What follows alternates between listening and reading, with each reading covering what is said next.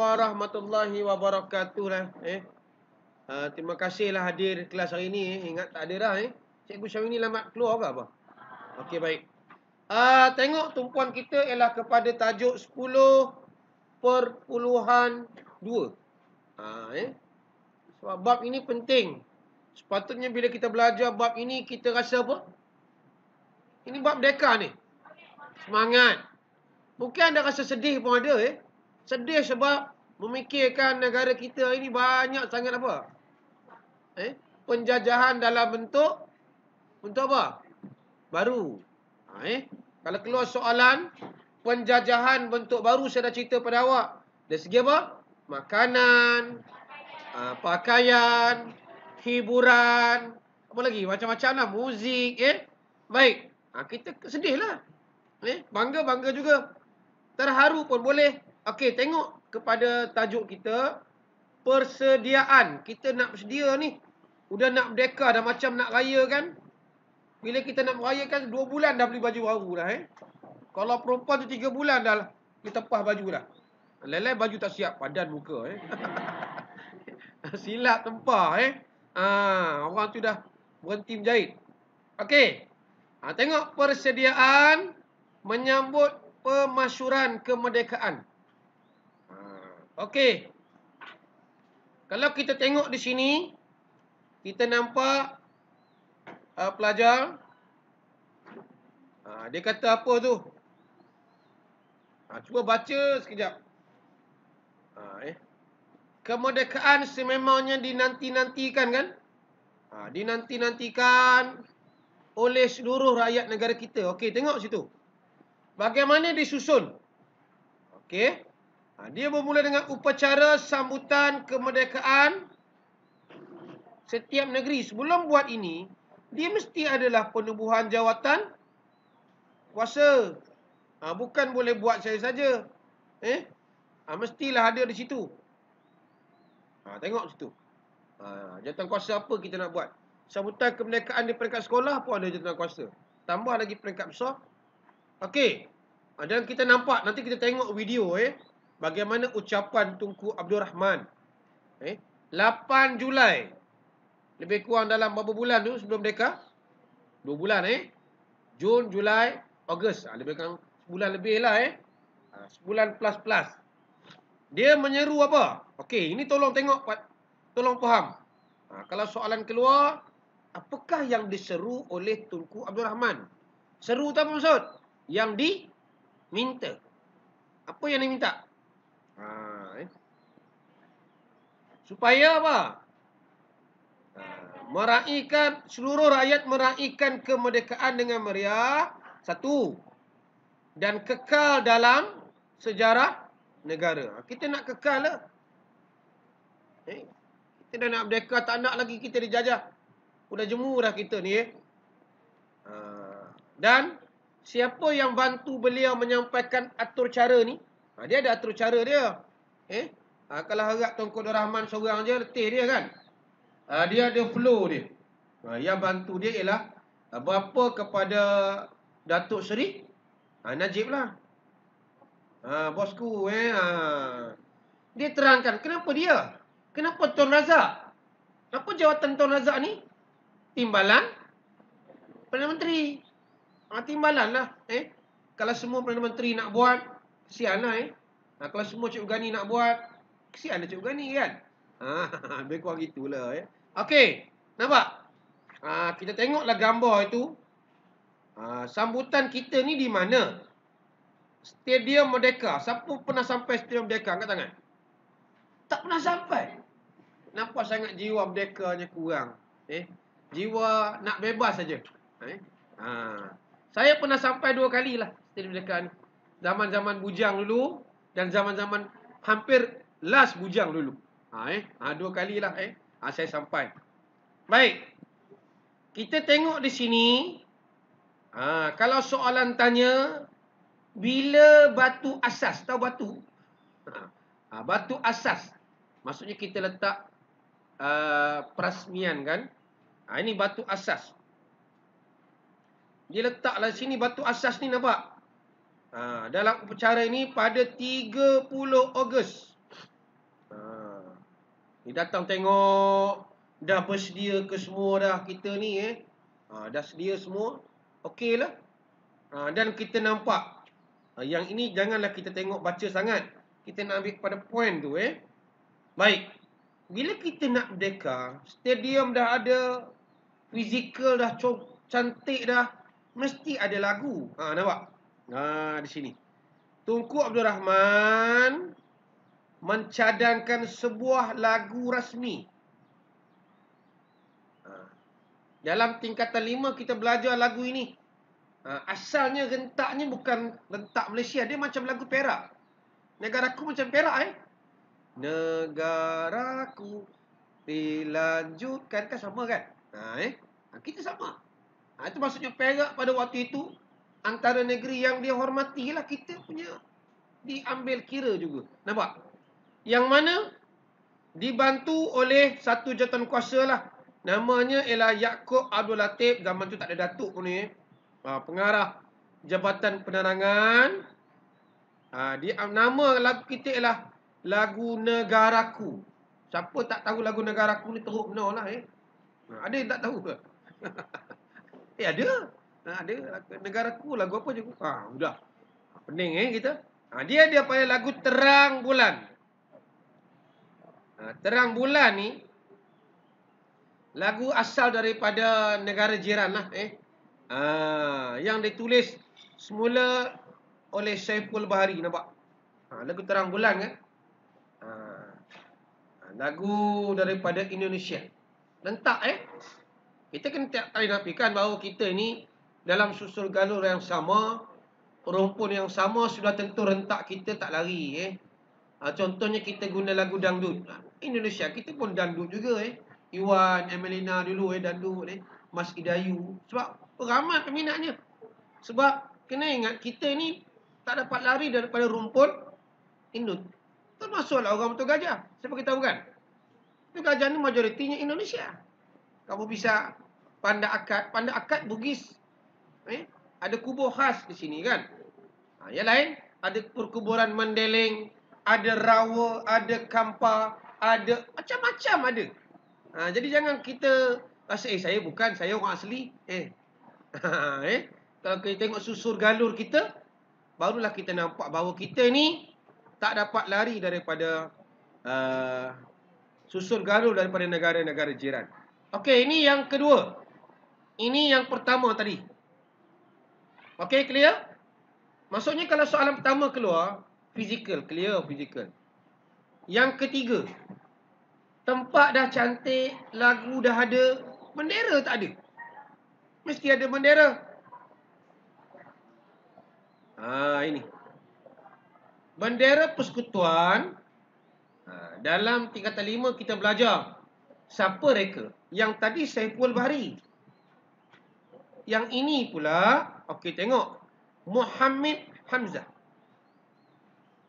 Pelajar kena ingat ni, dalam soalan kita, kemungkinan dia tanya ini. Siapakah yang menulis lirik lagu negaraku?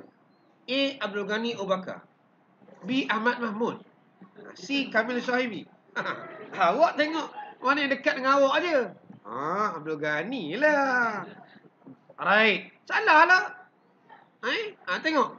Sama juga dengan pencipta bendera. Ha, okay. Baik dicipta oleh Muhammad Hamzah. Siapa dia ni? Orang mana? Okey, tengok. Dia ini adalah kaki tangan Jabatan Kerja Raya Negeri Johor. Ha. Negeri Johor eh. Ha, itu sebab kita tengok Johor ni dia uh, ada identiti dia tersendiri lah eh. Pengalaman saya tujuh tahun mengajar di Johor dulu eh. Ha, kita nampak? Baik, clear? Soalan kemungkinan ditanya saya clearkan balik. Yang pertama tadi siapa pengasas? Okey. Saya tulis, awak pun kena catatlah eh supaya bila dia keluar awak tahu kemungkinan ditanya apa. Okey. Di sini kemungkinan ditanya apa textbook apa eh. Ha itulah kadang-kadang ha, sudah dia lari dah. Ha tak apalah eh. Ha ditanya siapa penulis lirik?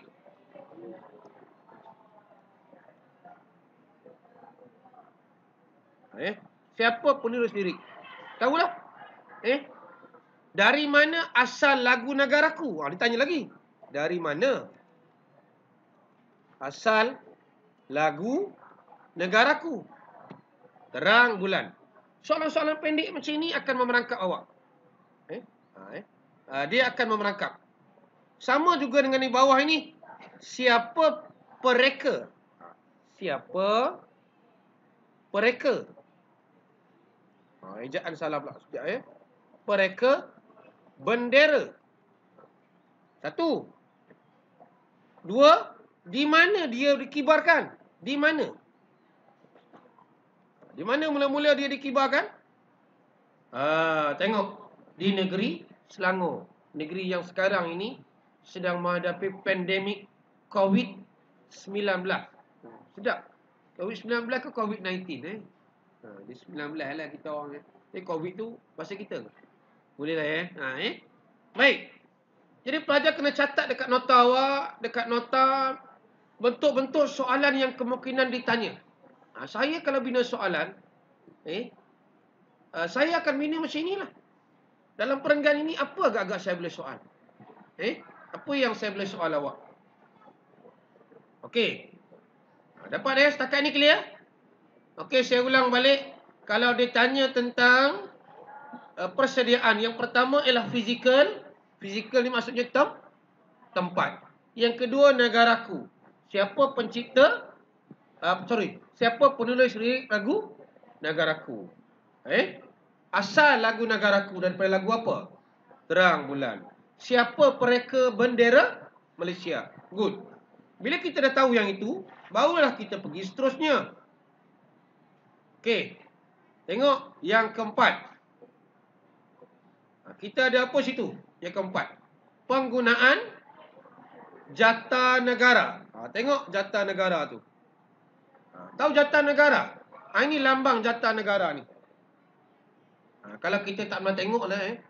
Yang ada gambar rimau. Yang ada gambar keris. Yang ada gelap, banyak lagi lah. Ada bulan dan bintang. Setiap itu ada maksud. Eh, pelajar sebagai rakyat Malaysia kena tahu. Mana tahu awak keluar sekolah negro tiba-tiba soal awak.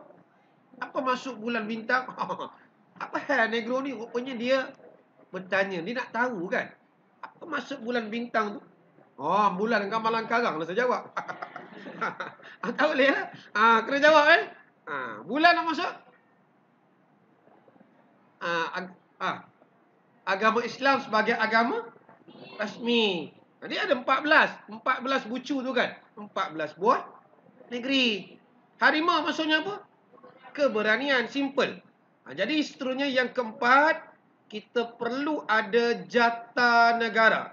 Ha, ini jata ni. Ha, tengoklah jata negara. Ha, yang telah diperkenankan oleh uh, Raja-Raja Melayu. Ha, eh? ha, Raja-Raja Melayu dah perkenan. Maksudnya dia dah suka lah eh. Dia dah, dah like. like. Ha, kita hari ni tak boleh cakap suka. Kita cakap like. Subscribe. ha, dia dah subscribe lah eh. Ha. ha. Sebab pagi ni saya subscribe doa daripada menteri kita eh. Menteri agama kita yang Alhamdulillah dia dah sembuh. Dia sedekahkan buku doa. Ambil buku doa ni bagus. Doa dariku. Eh. Saya dah download lah. Bagus doa dia eh. Untuk kita amalkan dalam kehidupan kita. Baik. Ha, jatah negara. Okey. Dia tanya. Bila mula diperkenankan? Okey, good. Ha, dia sambung. Ha, jangan tak tahu pula. 30 Mei 1957. Baik, pelajar. Dalam muka surat ini, macam-macam boleh tanya. Macam nak keluar periksa je ni. macam. Eh, harap doakan dia keluar periksa. Yang ini kalau keluar ni esei boleh, struktur pun boleh. Eh? Ha, saya sedang bina soalan ni. Eh? Dua soalan baru siap eh. Baru siap dua eh. Saya update sikit soalan dalam awak punya ni lah. Tak naklah sebiji-sebiji tak seronok. Update sikit. Ha, apa rebonding eh. Ha. eh boleh ya? Rebonding apa maksud? Ha, rambut kan kita cantikkan balik kan? Ha, lebih kurang lah rambut lah kan? Cantikkan balik eh. Touch up. Eh? Baik. Yang ke, berapa dah ni? Yang ke berapa dah? Satu, dua, tiga, empat, lima eh. Ha. Yang kelima, nampak gambar ni? Ha, ini gambar kita ni. Jangan tak tahu pula. Orang tanya, apa, uh, kenapa kita pilih bunga raya? Nanti orang tanya.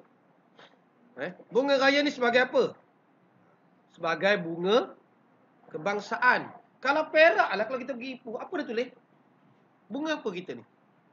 Selamat datang ke bandar. Allah teruk betul koma ni. Bougainvillea. Apa sebab Bougainvillea bunga apa? Tai ayam. bunga apa? Bunga kertas. Ah. Patutnya banyak dah bunga kertas kita. Mana ada bunga kertas?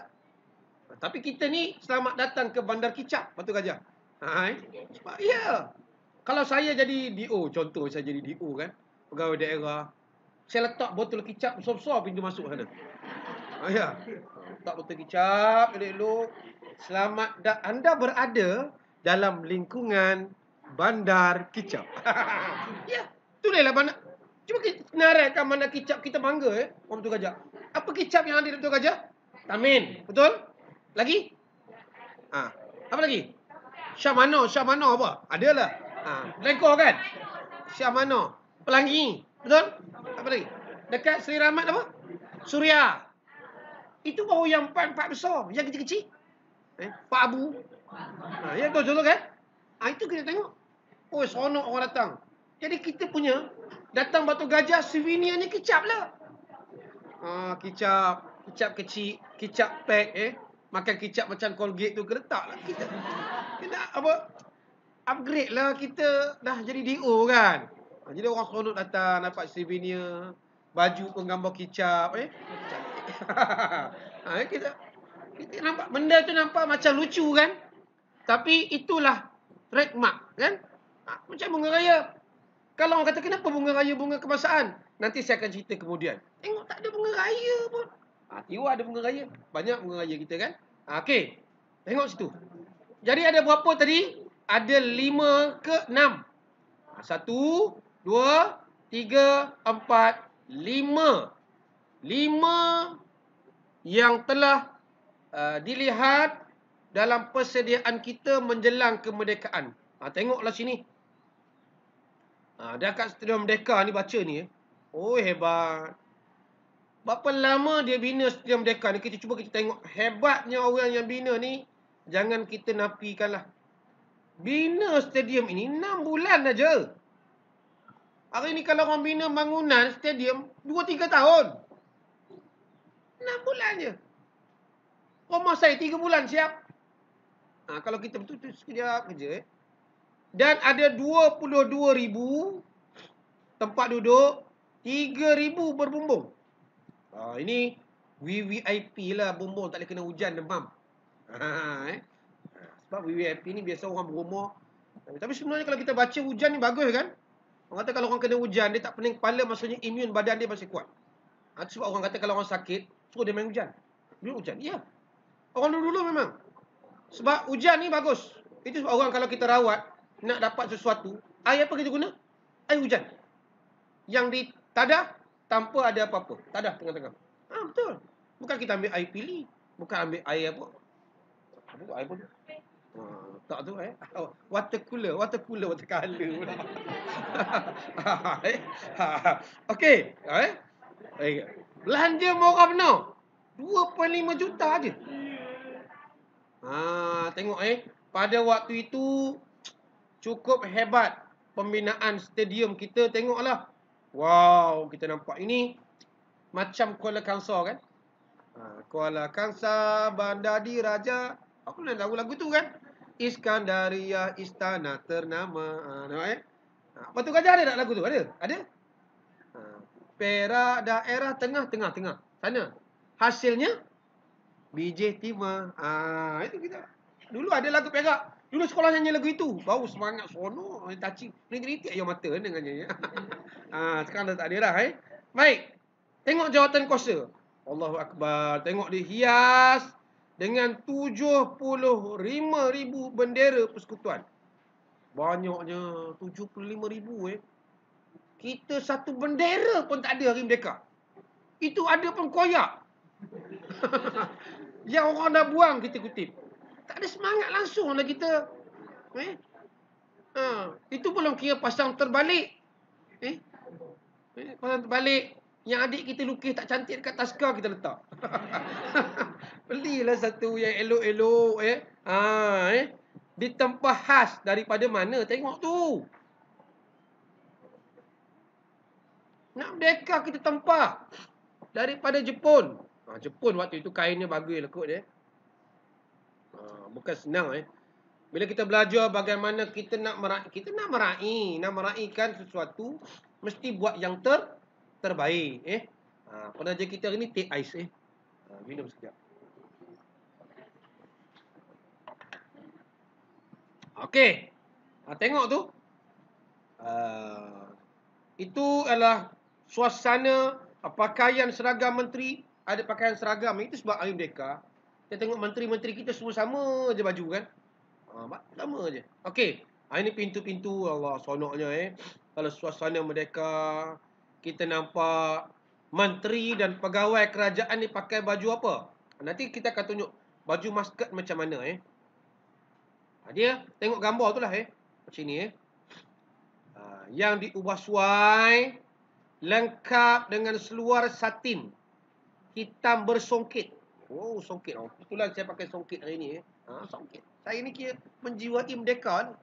Ha, eh. ha. Bersamping. Bertungkuluk. Allah. Itu kita nampak budaya ha, masyarakat kita dulu macam itu. Hari ni payah dah nak jumpa. Eh. Ha, payah dah kita tengok merdeka kita dalam suasana macam ini. Eh. Ha, eh. Ha, dan kita nampak yang lain. Pelajar boleh baca. Eh. Ha, berapa ramainya orang menunggu-nunggu hari merdeka pada hari itulah. Eh, nampak? Ha, macam mana kaki tangan kerajaan? Cuba tengok. Nak nak bagi dia orang datang ni. Nak bagi cikgu-cikgu kaki tangan awam datang. Apa kerajaan buat? Nampak sini. Bawah ni. Semua pegawai dan kaki tangan kerajaan dibagi gaji seminggu awal. Ha, untuk dia tambang ni nak pergi tu. Tak ada duit. Bagi awal. Ha, dan tengok Tiket pula macam mana semua tiket kereta api semua habis di tempat. Masya-Allah. Nampak begitu apa? Terujarnya rakyat nak sambut mereka. Ha, itu kita nak bila kita nak raikan ini eh.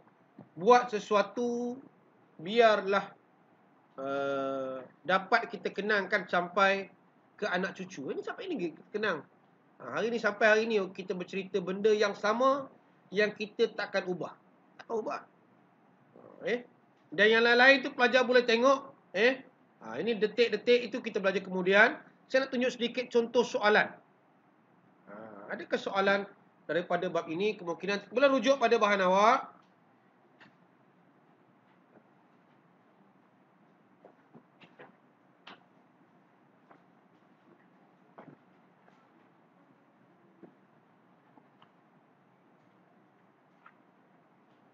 Okey, tengok sejak soalan kita. Walaupun ada jawapan, tak apa.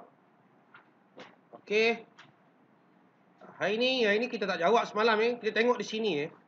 Ha, soalan nombor dua. Macam mana saya, uh, bukan saya, eh, tim tim JU Perak bina soalan. Ha, dia bagi soalan mudah saja pelajar. Yang ini kita katakan soalan uh, struktur. Kita ada dua respon. Eh. Apa respon kita? Terhad dan terbuka. Ini adalah respon terhad dan dia ada huruf Roman. Bila ada huruf Roman, saya kata apa? Jawapan kita pendek. Good. Ingatan awak masih kuat. Eh, sebab semua sekolah dia masih menunggu-nunggu. Di sana tanya, Cik Ugani tak ada ke video yang berkaitan dengan cara menjawab? Saya kata saya tak ada masa. Eh, kena flow. Sebab pelajar tingkatan 4 ni hari ni, kalau awak ada 10 bab, kita tinggal sikit kita ni kira laju eh. Bulan 10 habis bab 10 betul. Ada orang masih bab 6, bab 7.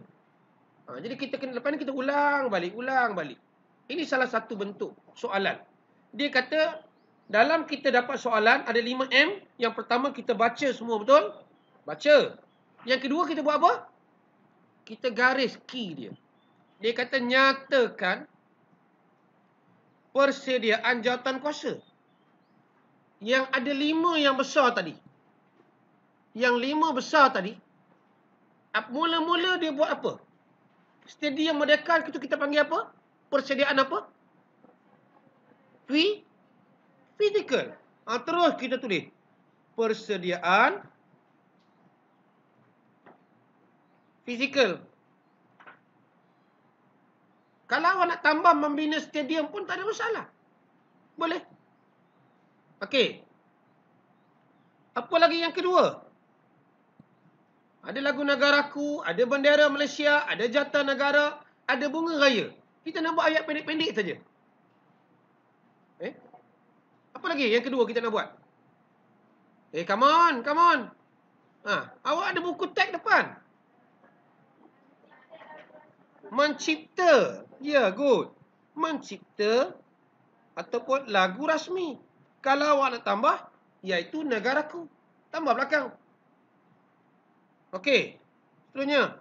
Empat, tiga. Dah ada lagu. Eh? Ah, bendera Malaysia. Awak tambah. Biasanya pelajar yang cerdik, dia akan tambah lagi di bawah ni. Tambah sendiri. Ditambah empat. Ada pelajar lagi cerdik, dia tambah mana ruang kosong. Dia tambah lagi lima. Dia tak ada masalah sebab dia takut salah. Tak ada salah awak nak tambah. Cuma jangan awak buang aja. Malas lah. Tiga, dua je lah. Ha, itu salah. ha, tambah, tak ada masalah. Ha, ini, yang ini tak apa. Ha, tapi kalau nasi tambah kat kedai orang marah. Yang ni orang tak marah. Ha, tambah nasi, ha, bayar lah. Ha, eh? Okey. Clear eh? Kenapa clear? Dah buat. Dah jawab tiga markah, tak payahlah kita buat rangka. Tengok markah tiga. Jangan bagi tiga, bagi lebih. Baik, soalan kedua. Apakah persiapan untuk memastikan menonjolkan identiti? Dia hampir sama dengan atas tadi. Hampir sama jawapan. Apa identiti kita? Ha. Identiti kita. Yang awak nampak tadi, segi apa? Ha. Pakaian, apa lagi? Ha. ha Cik tengok. Yang awak boleh jawab. Awak dah baca dua muka surat. Cuba tengok pelan-pelan. Apa identiti kita yang kita nampak? Identiti kita. Eh? Bunga? Ha, yang ini saya yakin. Saya pun tinggal ini. Saya rasa awak boleh jawab. Hampir sah. Sama. Kebat ni. Haa. Mengapa sambutan merdeka ni kita buat setiap tahun? Dia tanya sini. Ini tak ada soalan ni. Pada pendapat anda, mengapa sambutan itu diadakan setiap tahun? Kenapa kita merdeka setiap tahun? Kenapa awak nak buat sambutan hari jadi setiap tahun? Cuba. Ah minta maaf. Ah sambutan hari jadi kita tak ada tahun ni tak ada. Apa perasaan awak? Sedih lah. Malaysia takkan kata sedihnya. Kalau dia cakap sedihnya, langit keluar suara tumbang kita eh. Sedihnya tak ada sambutan mereka. Oh, dia gemar. Ha, lari kita. Eh? Kenapa? Pada pendapat saya. Betul. Ha, pada pendapat saya sambutan perlu diadakan setiap tahun kerana kerana apa jawapan kita kita boleh ambil? Menghargai jasa. Kita nak hargai jasa pemimpin kita. Lagi. Dua. Sebagai apa? apa? Bangga kita dah apa? Kita dah mak, dah merdeka, dah bebas. Lagi? Ha. Hey, come on, ni 4 PA. Ha, apa lagi? Baru dua. Maka empat. Seelok-eloknya jawapan kita ada fakta, huraian, contoh, inference. Saya bagi contoh jawapan awak tengok eh. Kerana Malaysia telah merdeka. Okey, itu fakta ya. Ia itu bebas daripada penjajahan kuasa asing. Huraian satu. Boleh bagi contoh eh? Saya nak bagi contoh. sama ada nak bagi huraian lagi ni. Oh, lebih kurang tu eh. Penjajahan dalam bentuk apa? Physical. Lagi apa lagi? Physical lagi? Minda. Mental dan, dan sebagainya. Okey, pelajar nampak? Saya bagi ni apa? Fakta, huraian, huraian. Contohnya. Bebas dari penjajahan Bri British. Maka nampak eh? Fakta, huraian, huraian, contoh. Oleh itu, ha, nampak inference saya. Saya nampak kesimpulan kecil. Sebagai rakyat Malaysia, sewajarnya, sewajarnya, dah, dah, dah, menyambut hari